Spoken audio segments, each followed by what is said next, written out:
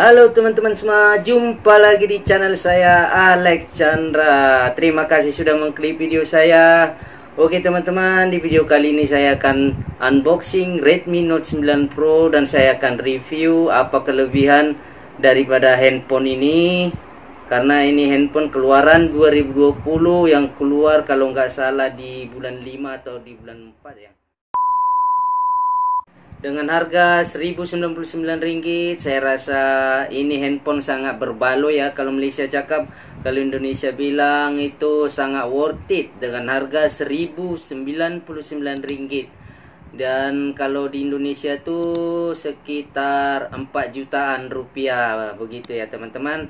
Oke langsung aja kita unboxing. Dan sebelum kita unboxing handphonenya kita unboxing dulu uh, free gift ataupun hadiah-hadiah yang diberikan Shopee karena istri saya order secara diam-diam di Shopee. Oke, langsung aja teman-teman, ikuti videonya.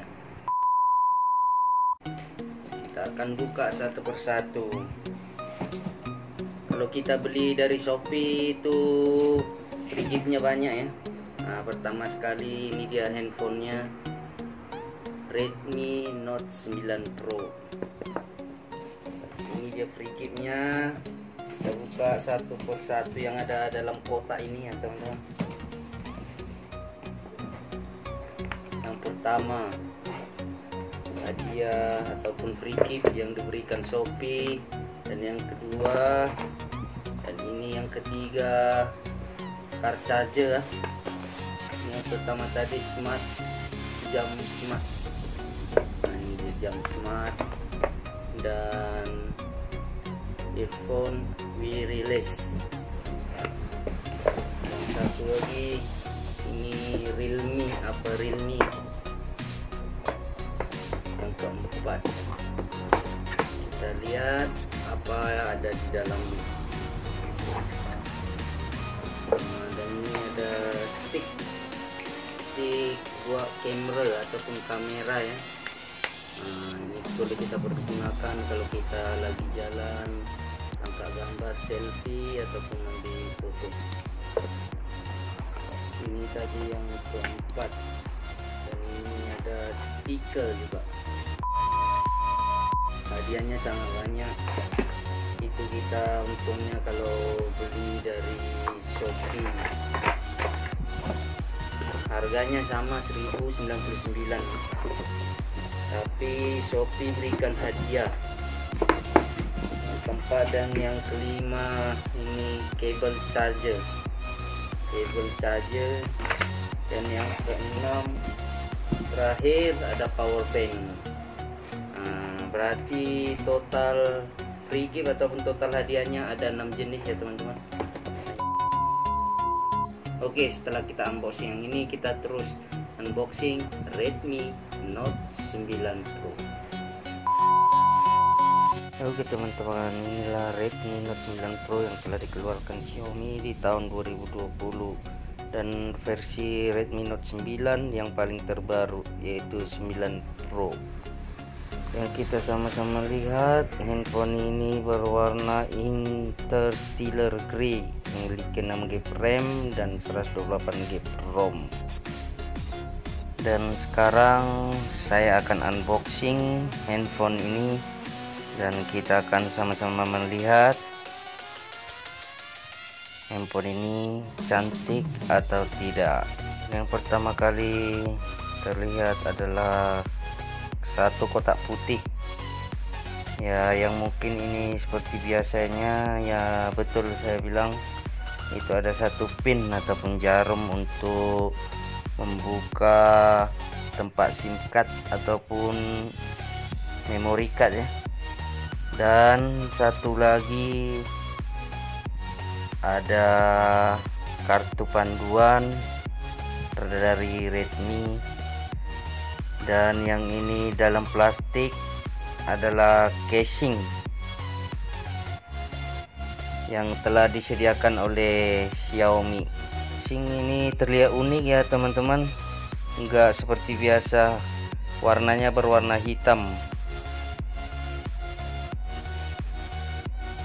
dan sekarang kita buka lagi kita lihat apa yang ada di dalam. Sebelum kita buka handphonenya kita lihat yang ada di dalam.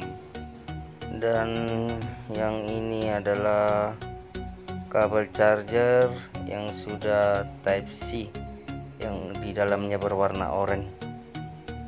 Nah itu dia. Dan yang satu lagi ini kepala charger yang akan disambungkan dengan kabel chargernya untuk mencas handphonenya. Dan ini kepala charger 30 watt fast charger. Oke teman-teman sekarang saya akan perlihatkan handphonenya. Dilihat dari luar sangat cantik ya teman-teman. Dan sekarang saya akan buka perlahan-lahan ini dia berwarna Interstellar Grey. Dilihat dari belakang semacam cermin ya teman-teman. Nah inilah dia penampakan handphone Redmi Note 9 Pro. Ini penampakan dari samping. Dan yang di atas ini adalah tombol volume. Bawah ini adalah untuk on off dan fingerprint.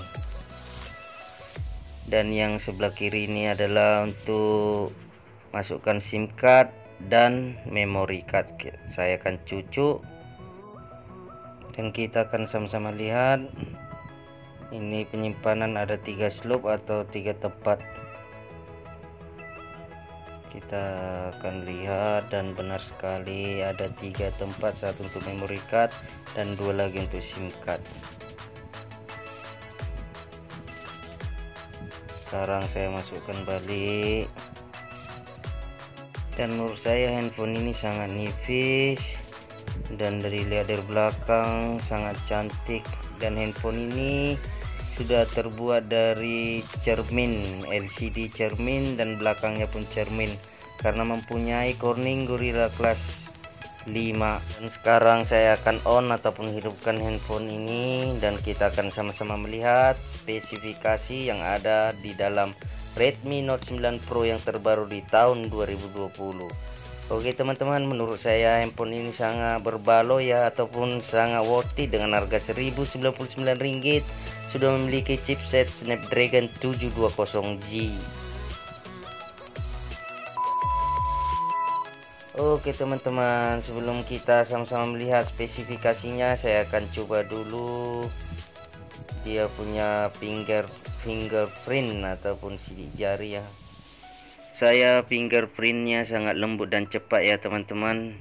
Dan sangat unik karena memiliki fingerprint sebelah kanan sekali dengan on off nya Oke sekarang langsung aja ke spesifikasinya. Handphone ini ada tiga varian warna.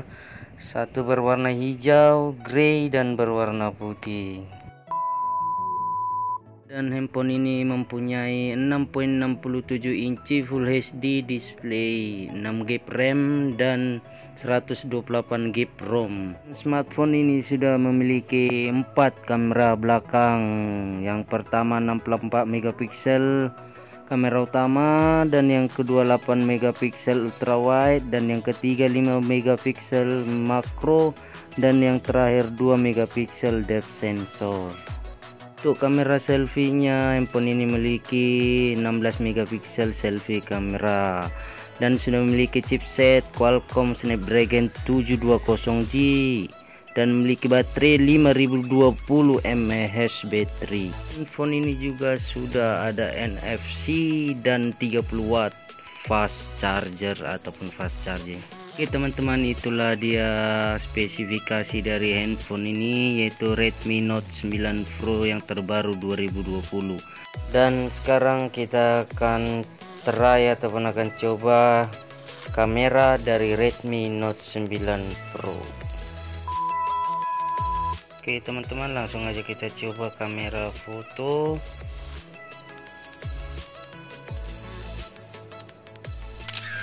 ini dia kamera belakang AI kuat kamera warnanya sangat lembut. Dan kita coba lagi kamera 64 megapiksel.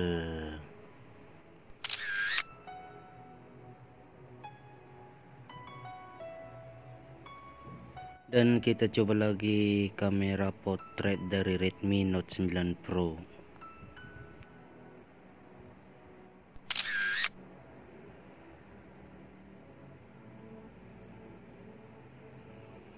dan ada juga kamera untuk di malam hari. Gambarnya kelihatan terang pakai mood malam hari. Oke teman-teman semua itulah tadi unboxing dan sedikit review Redmi Note 9 Pro yang terbaru di tahun 2020 Terima kasih untuk teman-teman semua yang sudah menonton video ini. Dan buat teman-teman yang minat teman-teman semua juga boleh membeli di toko-toko handphone ya ataupun di kedai handphone. Dan teman-teman semua juga bisa membelinya melalui online seperti Lazada dan Shopee. Kalau menurut saya sih uh, lebih bagus beli dari Shopee karena saya istri saya sudah membeli dari Shopee dan dari Shopee banyak free gift ataupun hadiah yang diberikan ya. Oke teman-teman sebelumnya saya ucapkan terima kasih banyak. Dan jangan lupa di like, komen, dan di subscribe supaya saya semakin bersemangat buat video-video saya selanjutnya. Terima kasih